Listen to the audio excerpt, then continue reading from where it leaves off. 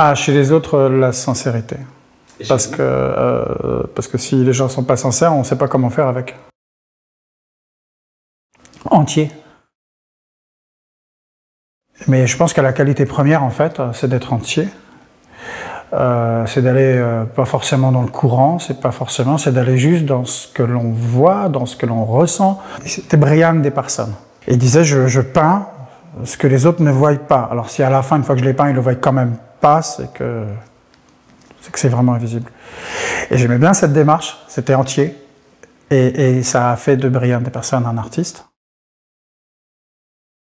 Je suis, insatisfait, euh, ce qui fait que comme euh, je vous aviez expliqué, euh, moi, une œuvre, en fait, tant que tant qu'elle m'a pas été dépossédée, c'est-à-dire tant qu'elle n'est pas devenue la propriété de quelqu'un d'autre, et tant que je serai vivant, je me permets de, de revenir sur les choses que j'ai faites, parfois des choses que j'ai faites dix ans avant, parce que pour moi, l'art est vivant, et moi aussi. Une espèce de résilience artistique. La, résilience, c'est la contrainte, et en même temps, on, fait mieux parce qu'il y a eu la contrainte. Donc euh, je pense que la principale qualité d'un artiste, euh, ça doit être de, de, se réinventer sans arrêt. Du coup, euh, le principal défaut d'un artiste, c'est de tourner en rond. Finalement, la, la, principale qualité de mes amis, c'est de dire la vérité tout le temps et donc de ne pas être politiquement correct. Et en fait, c'est super dangereux parce que ça peut faire super mal. Mon occupation préférée, euh, ça a changé il n'y a pas longtemps. Euh, je me suis acheté un vélo. Et, euh, les gens font du vélo sur des pistes cyclables. Et moi, en fait, je fais du vélo sur les crêtes euh, des Hautes-Pyrénées. Euh, mon occupation préférée, vraiment, c'est de monter à 2500 mètres avec un vélo. Alors, la, la plupart des gens descendent. Et en fait, moi, j'aime bien monter. Alors, il est électrique. Et après, c'est de faire le funambule avec le vide d'un côté. Et alors, ça n'a rien à voir avec l'art. Et en même temps, si, parce que c'est se mettre en danger. Euh, c'est avoir envie de se sentir vivant. Et, et là, en fait, euh, moi, en fait, j'ai failli pas être artiste parce que mon père est artiste. Et du coup, être artiste, c'était être le fils du père ou, ou un jour mettre au risque mon père d'être le père de. Et c'est compliqué, on, voit bien euh, de père à fils les notoriétés, à part M qui a réussi son coup, mais il y en a peu qui, qui où ça marche. Et, euh, et, donc en fait je m'étais interdit d'être artiste jusqu'à l'âge de mes 27-28 ans. Mais j'ai failli en crever. Parce qu'en fait, euh, si je produis pas, si je me mets pas en danger à un moment donné, euh, tout ce que je ressens de ce monde qui me plaît pas ou qui me plaît, en fait, à un moment donné, m'étouffe. 90% de ma créativité, en fait, je fais rien. Je, j'absorbe la nature. Donc faire du vélo dans la nature, c'est ces moments où je me remplis de ce qu'un jour j'utiliserai comme matière première pour faire quelque chose. Connaître l'amour tout le temps. perdre l'un de mes enfants. Celui que je ne suis pas encore. Ah, je l'ai trouvé. Hein. Euh, J'habite précisément, euh, euh, comme il disait Dali, euh, je suis au centre du monde à la gare de Perpignan. Moi, je suis au centre du monde à Reims-Marceau, en Pyrénées. Euh, pour moi, tout part de là.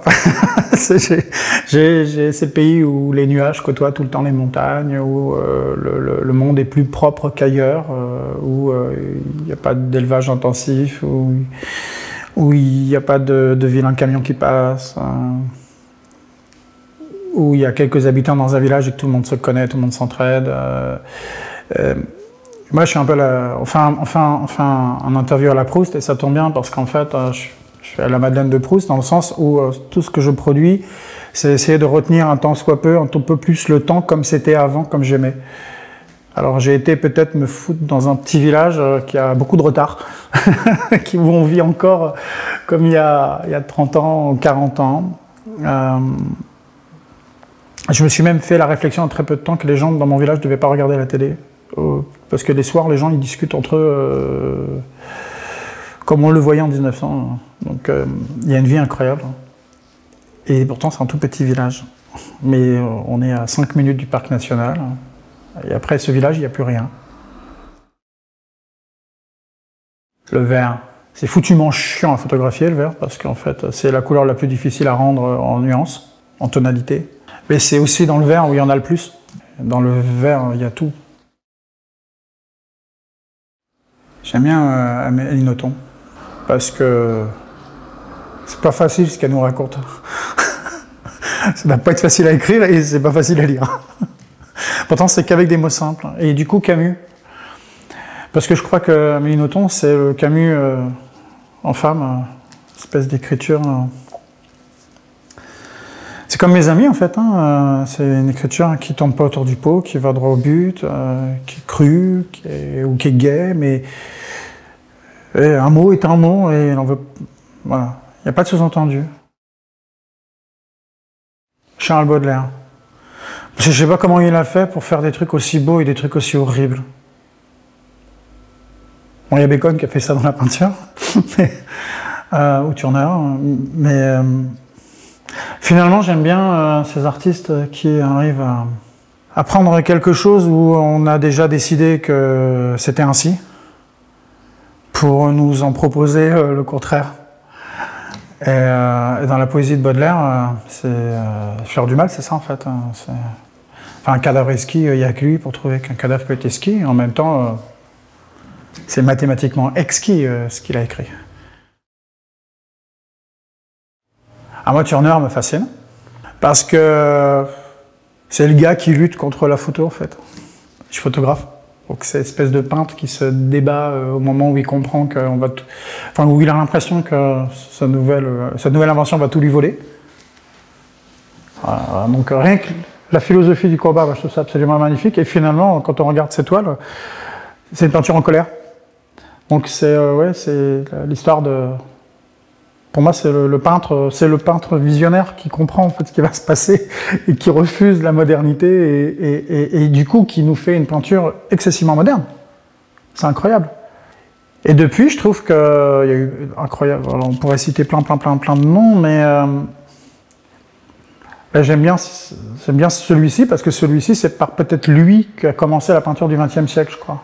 Alors qu'il n'est pas, c'est pas un gars du XXe finalement, mais mais souvent, euh, dans, bah, dans, tout, hein, dans la musique, dans le cinéma, dans la peinture, le premier qui fait quelque chose, il le fait vraiment longtemps avant les autres. D'abord, au moment où il le fait, euh, tout le monde le déteste, tout le monde trouve ça nul, euh, c'est du vomi. Et puis finalement, 50 ans plus tard, on réalise qu'il avait raison. Il avait bien senti le truc venir. Ça revient à ce que je disais tout à l'heure, hein, cette espèce de prophète de l'invisible. Donc Turner. Je trouve que ce tableau que tout le monde connaît, euh, la locomotive qui arrive euh, sur le pont avec, euh, au milieu d'un ouragan de peinture, c'est le XXe siècle qui lui arrive en pleine face et qui verra jamais.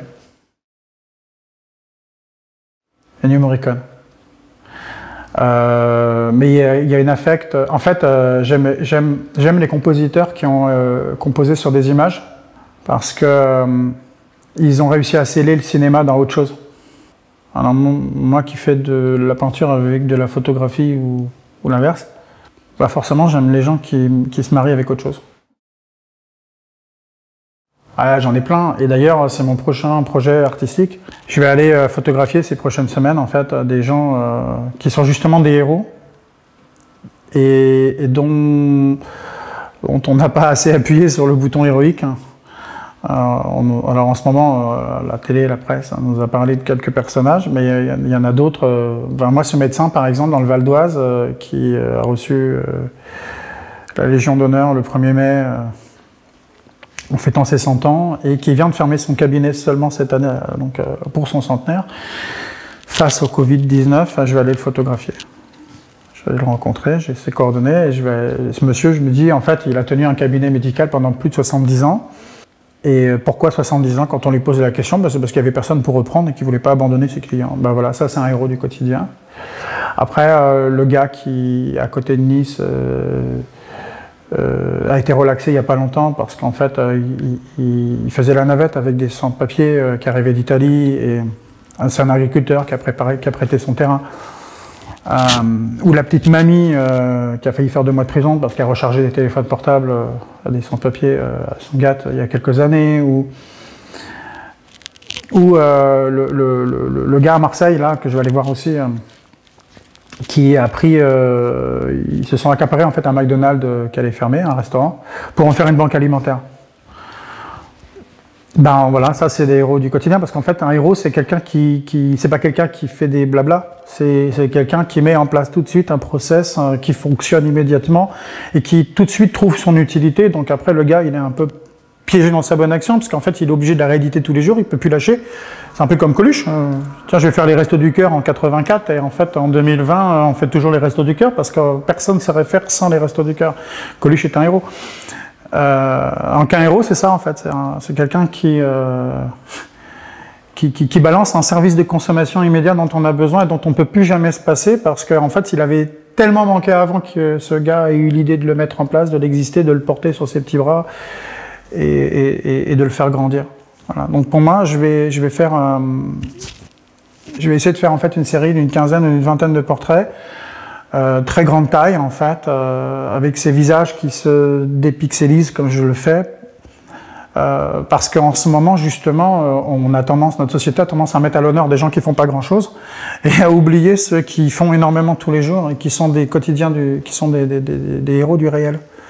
Et ces héros du réel, en fait, ils passent une fois à la télé, une, cinq minutes, et puis après, pouf, ils s'évadent, ils s'évanouissent. Donc je trouve que ça va bien dans la suite d'évanescence, ces héros qui s'évanouissent et que s'il n'y a pas un artiste qui passe là vite fait pour, euh, pour bloquer le temps et bloquer la mémoire et, faire une pièce, une pièce d'art, qui du coup a une chance d'exister dans 25, dans 30 et dans 40 ans, pour raconter l'histoire de ce gars-là, on va dire, ce gars-là, euh, c'est qui?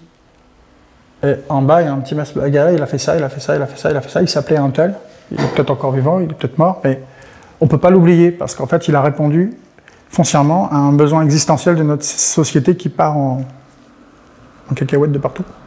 Voilà. Ça, c'est un héros. J'aimerais bien être immortel, mais. Euh, euh, pas immortel dans le sens de jamais mourir, mais euh, je, pense que la nature est plus solide comme on le croit et elle va vivre beaucoup, elle vit beaucoup plus longtemps. Donc, je sais pas, j'aimerais vivre le temps d'un séquoia parce que j'ai tellement de choses à faire, à penser, à produire, à créer, à montrer. ma vie d'homme, ça va pas suffire, quoi.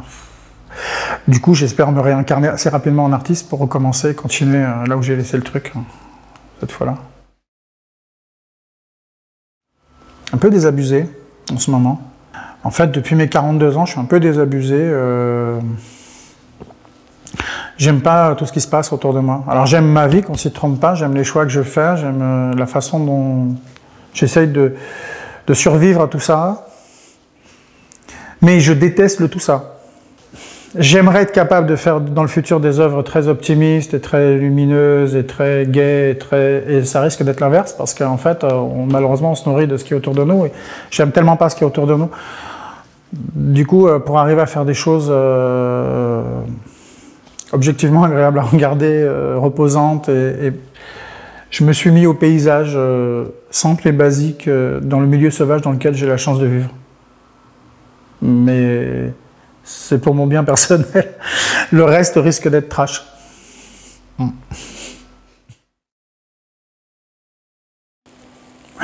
La faute d'amour. Tout est possible. Tout est possible.